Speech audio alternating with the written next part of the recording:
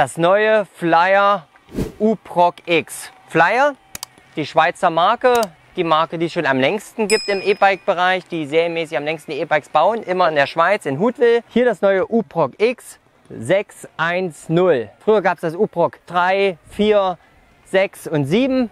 Ja, und jetzt haben wir das U-Proc X, das Panasonic-Modell mit einem neuen Motor. Wir haben hier den Panasonic GX Ultimate Pro Fit. Also neuer Motor mit sage und schreibe 95 Newtonmeter, größere Akkukonzepte und viel mehr Möglichkeiten. Volle Integration des Akkus. Bisher hat der Panasonic Akku immer auf dem Rahmen gesessen. Bei dem Modell jetzt integriert. Seitlich wird er eingebaut. Das zeige ich später noch mal im Video, wie er rausgeht. Ganz einfach.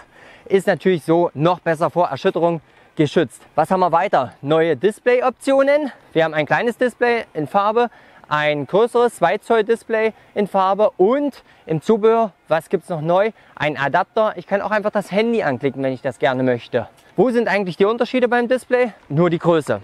Außer, dass ich beim Handy noch eine bessere Navigation habe. Bei den anderen beiden Displays nur eine Pfeilnavigation, wenn ich das mit dem Handy verbunden habe. Beim Handy dann auch richtige Kartenfunktionen. Das ist der hauptsächliche Unterschied. Ansonsten nur Ablesbarkeit und wie gesagt die Größe. Serienmäßig haben wir ab dem Modell 610 auch die höherwertigen Modelle immer den 750 Wattstunden Akku. Das 210 Einstiegsmodell hat immer 630 Wattstunden, so wie die Größe S bei einem Modell. Das ist bauartbedingt nicht anders möglich, kostet dann auch wieder ein paar hundert Euro weniger.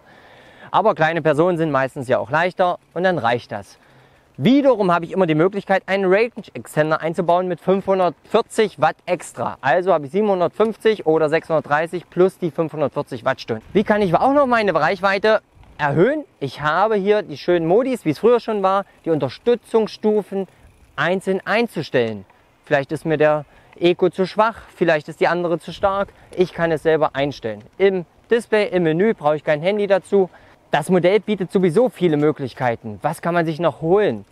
Ob man es braucht oder nicht, muss jeder selber wissen. Zum Beispiel kann ich mir holen Bluetooth-Drucksensoren, um immer zu sehen, wie viel Luftdruck habe ich einfach eigentlich auf dem Fahrrad. Das ist natürlich mega wichtig ob man es braucht. Das gibt es im Zubehör. Jetzt ein Gimmick, was richtig cool ist. Es gibt auch ein GPS-Gerät, kann man sich auch nachrüsten. Wird hier eingebaut mit, gibt es auch im Zubehörshop, liegt bei ca. 200 Euro. Dann habe ich das Fahrrad gleich per GPS. Auf dem Display selber ist immer ein QR-Code, den kann ich einscannen und jeder hat seine Connected Your E-Bike Card und kann das Fahrrad damit mir aufs Handy holen und damit auch sperren oder nicht sperren. Die Karte ist bei jedem Rad dabei. Was haben wir weiter? Wir haben hier einen Carbonrahmen, also alles Carbon. Das macht es natürlich optisch schön, optisch sauber. Also auf jeden Fall ein mega Modell. Die alten Modelle waren schon toll. Jetzt halt äh, im moderneren Kleid, möchte ich mal sagen. Die 95 Newtonmeter ist natürlich eine Wucht. Man merkt, wie es abgeht. Wir haben vier Unterstützungsstufen, unter anderem den Automatikmodus. Da macht er die Stufen selber. Das ist ja hier immer verbreitet äh, bei Panasonic, war von Anfang an so. Was es noch als besondere Funktion gibt bei den vier Unterstützungsstufen, ist der Eco-Modus, so wie man das kennt, Sparmodus. Aber manchmal brauche ich vielleicht doch den kleinen Schub, dass ich nicht extra durchs ganze Menü klicken muss, bis ich endlich im High- oder Turbo-Modus bin, kann ich die Schiebehilfe gedrückt halten und plötzlich zieht der Motor stärker an und geht ganz kurz in den High- oder Turbo-Modus. Nur wenn ich mal irgendwas schnell überwinden möchte, um nicht extra, wie gesagt, durchs ganze Menü zu schalten. Auf jeden Fall eine schöne Sache. Das Display selber, hatte ich eben schon erwähnt, kann man natürlich auch abklicken. Das ist kein Thema. Alles werkzeuglos. Eine schöne Geschichte. Ich habe sehr gut ablesbare Zahlen. Die Sonne scheint auch gerade. Ich kann schön mit einem Joystick durchs Menü gehen. Ich habe die üblichen Werte, was ihr kennt. Uhrzeit, Reichweite, Geschwindigkeit, und so die ganzen Tageswerte. Daneben habe ich natürlich auch die Trittfrequenz. Ich kann Herzfrequenz anschließen, wenn ich gerne das überwachen möchte. Ich habe Eigenleistung, ein Höhenmesser drin, also wie auch beim alten System echt schöne, interessante Werte, die man nutzen kann, aber wie immer nicht muss. Genau, ansonsten kann ich beim Joystick einen Vibrationseffekt einstellen, wenn ich das gerne möchte. Mir gefällt es jetzt nicht so, aber manchen gefällt das vielleicht. So, zur weiteren Ausstattung des Fahrrads. Neben dem kompletten Carbonrahmen habe ich hier ein schönes Fox-Fahrwerk mit einer Shimano Vierkolbenbremse, Shimano Schaltung, alles solide, gut. Ich kann natürlich nach oben gehen und sagen, nein, ich möchte SRAM Access per Funk Sattelstütze, äh, elektronisch, all solche Sachen sind möglich. Also es geht natürlich weit nach oben. Heutzutage wie immer keine Grenzen. Die Verfügbarkeiten sind definitiv schlecht. Also wir haben über ein Jahr gewartet auf das Rad. Es ist auf jeden Fall ein sehr besonderes Rad, so wie die alten U-Procs auch waren. Was haben wir weiter verbaut? Neben dem Fahrwerk, Bremsen, Schaltung haben wir auch Tubeless Felgen, Tubeless Reifen, hier von Onza bei dem 6.1er Modell. Wir haben ein 6 Ampere Ladegerät dabei, zumindest bei den großen Akkus 6 Ampere, also kann auch ein bisschen schneller geladen werden. Üblich ist ja eigentlich das 4 Ampere Modell absenkbare Sattelstütze generell auch verbaut. Bei den Top-Modellen über den 610 haben wir noch eine Besonderheit. Wir haben nicht klasse Schlenker und Vorbau. Wir haben, wie es bei Scott auch ist bei den Top-Modellen, eine Vorbau-Lenker-Einheit. Also das macht nochmal einen absolut clean Look. Beim Laufradsatz haben wir generell die Mullet-Version mit 29 Zoll vorne und 27,5 Zoll hinten.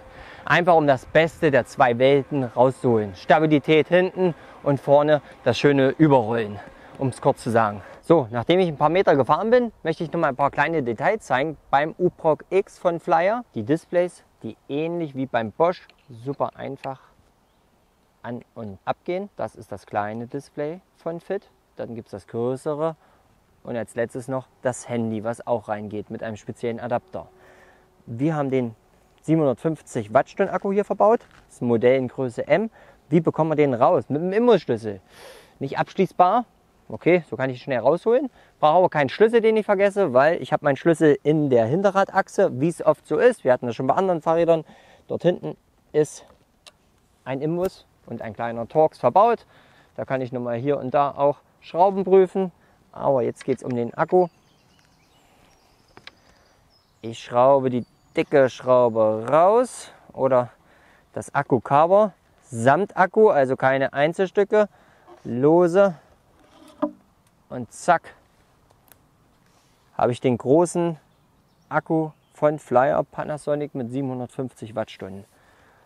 Somit ist es offen. Natürlich deutlich leichter, gerade für einen Heckträger etc. bin ich da nur bei ca. 20 Kilo, 21 Kilo, ähm, wenn ich den rausnehme. Also von daher ist es auch für viele Heckträger vom Gewicht geeignet, wenn ich doch auch mal mehr als ein Rad drauf habe. Ist ja immer so ein Grenzfall. Am Ende einfach wieder draufsetzen und dann wird er wieder verschraubt mit der Schraube. Ich habe hier eine schöne Ladeklappe. Diese Ladeklappe ist auch generell einmal für den Händler zum Service gedacht und natürlich auch zum Laden des Fahrrads.